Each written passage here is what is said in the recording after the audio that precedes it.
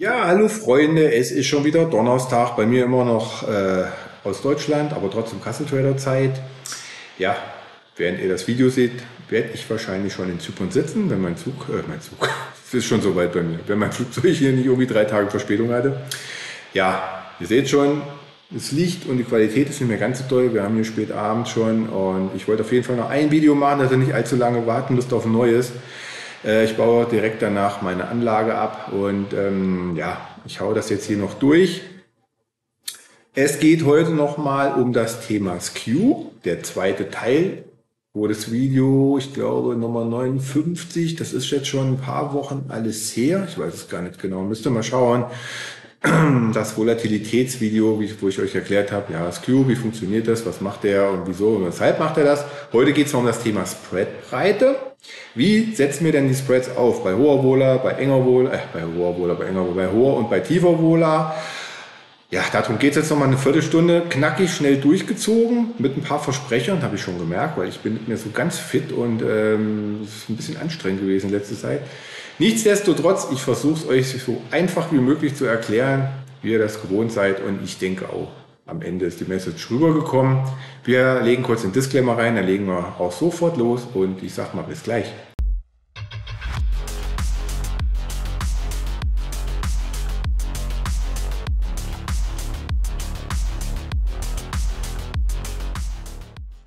So Freunde, auf zum allerletzten Video von meiner Seite aus Deutschland. Wenn ihr das hier guckt, bin ich schon lange in Zypern und sonne mich in 20 Grad. Nein, weiß ich selber noch nicht, wie das Wetter wird. Aber ich bin jetzt noch in Deutschland. Ihr seht das Video und da dürften wir schon, glaube ich, weiß ich gar nicht, Januar haben. Jetzt Anfang Januar. So, Teil 2 unseres Q-Videos. Es gab schon mal einen Teil 1, wie gesagt. Der ist schon ein paar Wochen her, aber ich habe ja versprochen, ich mache einen zweiten Teil. Jetzt kommt er. So, heute geht es wieder um Spreads. Niedrige Wohler versus hohe Wohler. Wie setzen wir jetzt die Spreads richtig aus? Wir geben jetzt auch gleich zügig Gas, dass wir vorwärts kommen. Wiederholung in einem Satz nochmal. Das Q stellt das Absicherungsverhalten der Marktteilnehmer dar. Zuerst wird weit OTM, Out of the Money, abgesichert, danach, danach auch ja, nahe oder näher bis ganz ans Geld. Also Skew, achso, haben ja hier, ne? Erst wird ganz weit aus dem Geld abgesichert und danach, wenn der, wenn der Kurs weiterfällt, dann geht das Ratze die Fatz und sichern die hier ab, sichern die hier ab und sichern die sogar am Geld ab. Ne? Hauptsache nur abgesichert. Ja, weit aus dem Geld ist natürlich die implizite Wohle am höchsten. Wieso, weshalb, warum? Normalerweise würde man denken, hier am Geld ist sie am höchsten. Sie ist aber hier am höchsten, also ganz weit außen. Ja, weil der Market Maker muss das Fettrisiko einpreisen. Hat man im Teil 1, ne? hier ist nochmal Video Teil 1, also ist kein Link. Also schaut euch das nochmal an, wenn ihr das erste nicht gesehen habt. Von wegen, warum ist denn ganz weit außen? die, ISO, äh, die, die, die, die IV oder die, die implizite Wohler höher als jetzt hier am Geld, so die Wahrscheinlichkeit für höher, dass wir ins Geld laufen. Ja, mag ja alles sein. Aber irgendeiner muss ja die Kurse stellen, wenn mal so ein Fettel, ne, Gausche Glockenkurve, ganz außen, Fettel, aber in der Mitte immer mal was dazwischen, mal so Striche, die außerhalb, äh, die aus der Glockenkurve, aus dieser schönen sauberen Kurve rausstechen. Haben wir hier ganz außen, kommen dann mal so, so Sachen wie Lehman, Corona, keine Ahnung, Bombe fällt oder was auch immer. Und dann muss der Market Maker das, das Risiko quasi übernehmen und euch Kurse stellen. Deswegen sind die im Verhältnis ganz weit außen die Kurse immer noch zu hoch gepreist, sage ich mal. 5 Cent, 10 Cent, 20, 30, 40, 50, wie, je nach Underlying halt.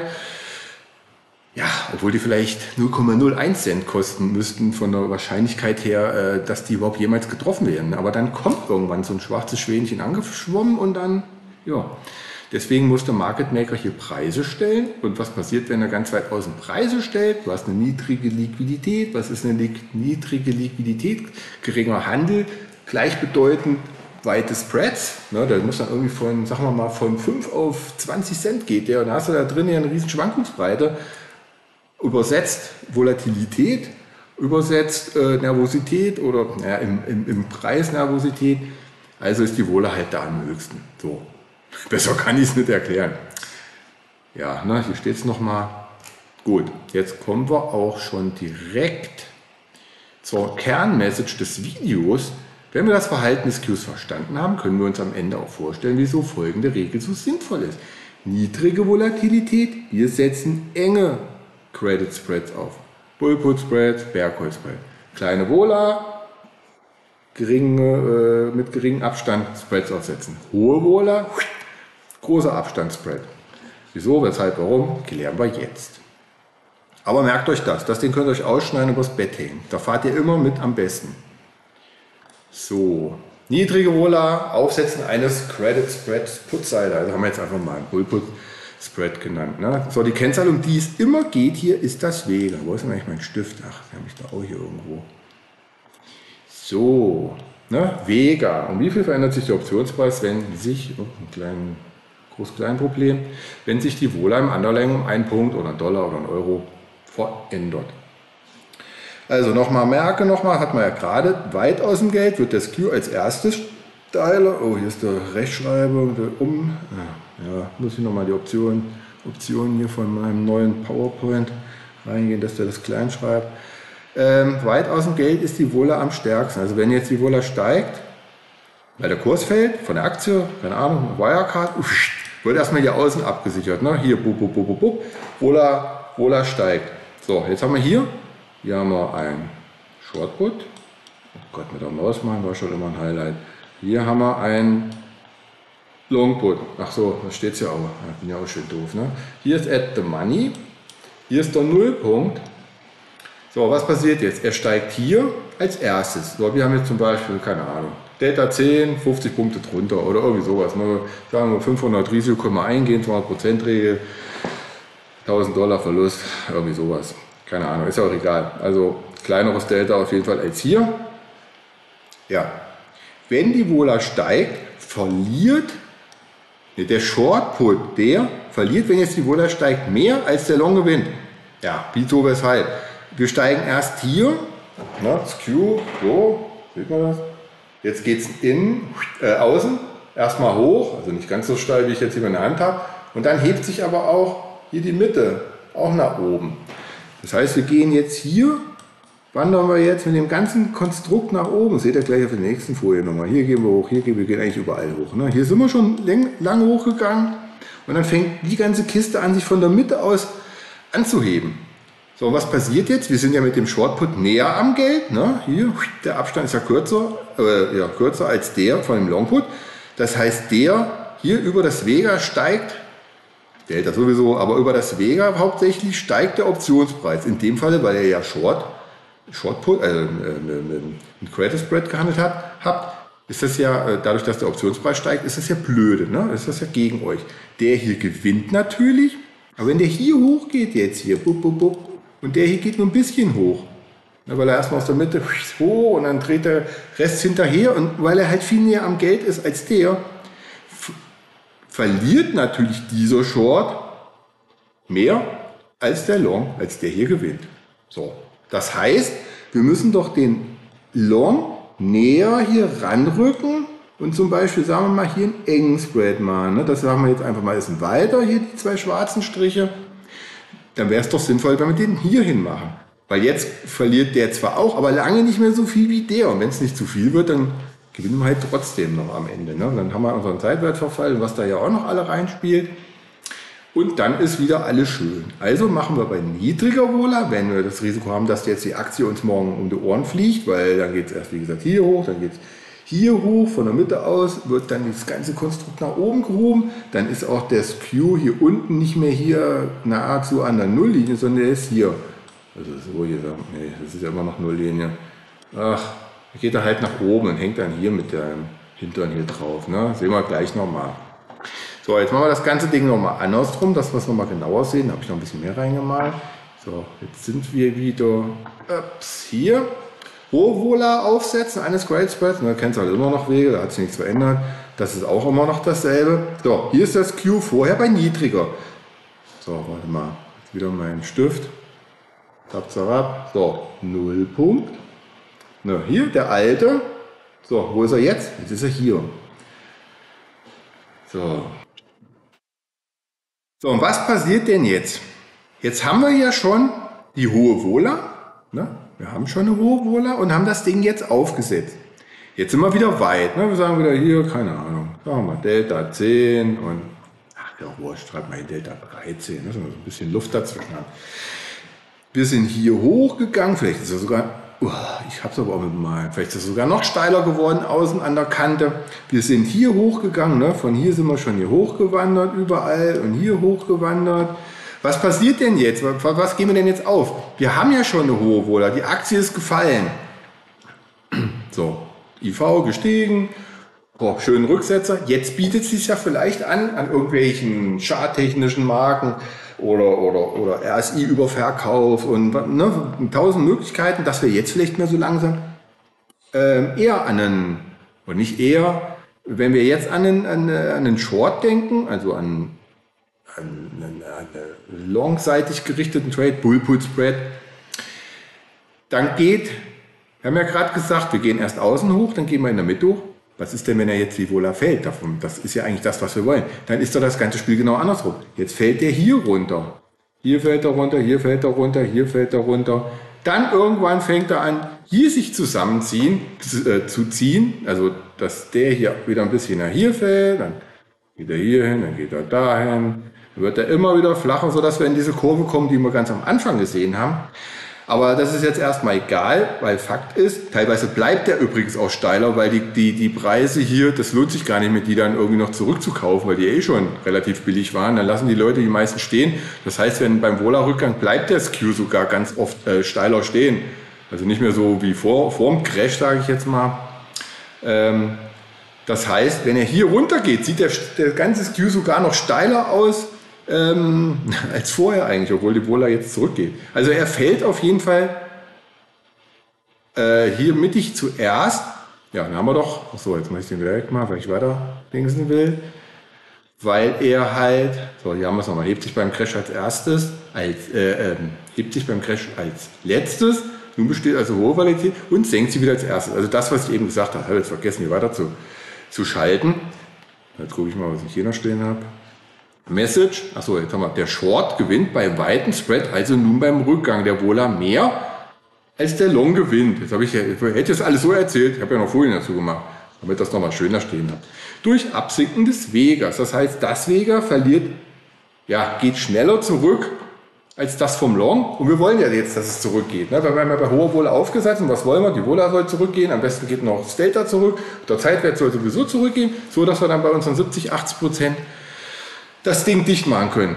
Und das ist das ganze Geheimnis, mal irgendwie halbwegs versucht, äh, ja, in, in, in wie vielen Minuten, in elf Minuten euch zu erklären. Da könnte ich natürlich auch sieben Stunden draus machen, wenn man da alle möglichen Sachen, wie gesagt, dann gibt es noch ein Commodity, äh, Commodity, Commodities Queue, wo ich gesagt habe, ähm, dass das dann, bei, wenn ihr jetzt zum Beispiel Futures handeln wollt, dann sieht der Skew genau andersrum. Dann geht der zum Beispiel eher so wie hier und geht jetzt hier hoch. Ne? Meistens sind die ja so ein bisschen symmetrischer, weil wie gesagt, was ist denn, wenn du jetzt hier Korn oder Weizen oder was weiß ich, Kakao kaufst, da hast du ja eher Angst vor steigenden Preisen als vor fallenden. Ne? Nur mal so, so als kleine Zusatzmessage im Hintergrund, im Hinterkopf zu haben, bei Optionen auf äh, Futures, speziell jetzt hier so Agrarmärkte und Kaffee-Futures, äh, Frühstücksmärkte und wie die alle heißen, Gold und keine Ahnung, alles was halt irgendwo endlich ist, ne?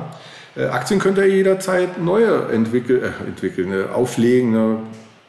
ähm, von, von, von, von, den, von den Unternehmen. Es kann jederzeit neue Aktien ausgeben. Wollte ich sagen, ja, aber ähm, Rohstoffe sind vielleicht oft begrenzt. Ne? Dann kommt noch das Wetter dazu und so weiter. Aber jetzt haben wir schon wieder einen Exkurs gemacht. Also merkt euch einfach, dass der Skew hier für, für Equities ist. Ne? Equities, Eigenkapital, also Aktien, ETF, äh, Indizes an sich. Und bei ähm, Rohstoffen ist der Skew eher andersrum. Da wird auf der Oberseite ist da mehr Risiko als auf der Unterseite. Gegen billige Preise habt ihr ja, da hat ja eigentlich keiner was. Natürlich auch nicht zu viel, weil dann sind die Produzenten wieder da, die sagen, oh, oh, oh ne, wir wollen ja was verdienen. Aber da ist auf jeden Fall mehr auf der Call-Seite wird da abgesichert als auf der Long-Seite, äh, als, als auf der Put-Seite wie bei Aktien. So, das war aber jetzt nochmal ein kleiner Exkurs. Also einfach merken, Weite Spread, so würden wir jetzt zum Beispiel übrigens, wenn wir jetzt ja nochmal gehen, wenn wir den jetzt hier nicht genommen hätten, würden den hier hin machen. So, was passiert denn jetzt, wenn die Wohler fällt? Ihr habt einen engen Spread, also ne, hier weiter Spread, der hier, weit und kleiner, also enger Spread. Wenn jetzt hier die Wohler fällt, dauert das natürlich viel länger, weil von dem die äh, ja nicht ganz so, also der gewinnt nicht so schnell wie der Long Put. Ja, ne? Hier ist es halt extremer. Wir gehen in der Mitte runter, zack, zack, zack, zack, zack. Hier fallen wir schneller runter. Also gewinnt hier der Short. Also einfach merken, breite Spreads, äh, hohe Wohler, breite Spreads, äh, tiefe Wohler, enge Spreads. Ja, ne, machen wir vielleicht noch mal irgendwann mal einen Kurs aus Zypern, wenn das mal einer ganz genau wissen will. Aber solche Sachen muss man halt einfach wissen. Dann weiß man auch, ah, okay, das muss ich so aufsetzen. Und dann setzt sich irgendwann das Puzzlechen zusammen. Jetzt muss ich gucken, ob die Kroatin hier, meine Freundin, kommt. Nicht hier mitten ins Video reingestürzt kommen, weil es ist ja alles hier so ein bisschen, äh, ja, soll man sagen, verschärfte Bedingungen noch aktuell auf den letzten Metern. Ich hoffe, Freunde, ihr habt das verstanden. Ich konnte es aber jetzt auch nicht besser äh, rüberbringen. Ich bin auch ein bisschen Querchenkopf, das habt ihr schon wahrscheinlich beim Reden schon gemerkt. Ich habe es versucht. Ich denke mal, die meisten haben es jetzt einigermaßen verstanden und es ist angekommen. Wie gesagt, ich probe ja hier die Videos nicht nur drei Tage vorher. ja, jetzt bleibt mir nicht mehr viel zu sagen. Ich wollte euch, ach, obligatorisch natürlich mal wieder mein Bildchen verwischt. Das kennen wir ja mittlerweile. Na, ist jetzt auch egal. Wir sehen uns auf jeden Fall äh, aus Zypern wieder. Ne? Hier, hier wohne ich übrigens. Für alle, die es mal wissen wollen, im Norden, Osten, Süden, Westen, also hier so Süden, Westen, äh, südwestlich bei Polis. Hier irgendwo ist unser, unser Flughafen. Hier geht die Teilung durch. Hier hinten ist türkischer Teil. Hier sind die schönsten Strände. Das ist ein bisschen Karibik-Style. Wir haben uns hier hingemacht, so ein bisschen in die Berge. Und hier unten ist das, das alles Meer, was weiß ist haben wir ein bisschen unsere Ruhe und das ist noch ein bisschen schöner und ein bisschen günstiger, fand ich persönlich. Mal gucken, wenn ich da nicht zurechtkomme, gehen wir ein bisschen weiter in Richtung City. Wollen wir mal schauen. Auf jeden Fall, ja, ich werde jetzt hier meine Anlage abbauen. Ja, so groß ist sie ja nicht, zwei Monitore, ein Laptop, meine neue Kamera und mein Mikro. Ähm, und dann geht es übermorgen Nacht, morgen noch einen Tag nochmal klar Schiff machen, Hausübergabe, alles Mögliche. Und dann geht's los. Dann werde ich zusehen, dass wir so schnell wie möglich Internet kriegen oder besseres Internet, weil mit 20 Mbit komme ich da nicht so weit. Ich weiß auch nicht, wie stabil die da sind. Ich warte dann erstmal auf meine, also mehr 80er Leitung oder was wir jetzt da machen wollen. Also Glasfaser habe ich da leider nicht in der Ecke oder irgendwie was. Am Strand habe ich einen Gigabit knapp oder so zwischen 800 und 1000, aber leider am Haus viel weniger. Naja gut, so ist es. Zum Arbeiten wird es reichen. Ansonsten gehe ich mit euch mit dem Laptop an den Strand. Da werde ich bestimmt mal auch mal das ein oder andere Video dann machen, um euch ein bisschen Zypern näher zu bringen oder mal das schöne, schöne Wetter zu zeigen, wenn ihr Abend Deutschland im Regen sitzt.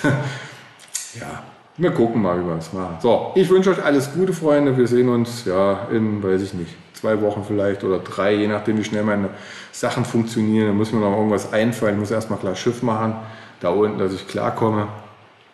Und ja, ich hoffe, es hat euch gefallen. Lasst mir ein Like da.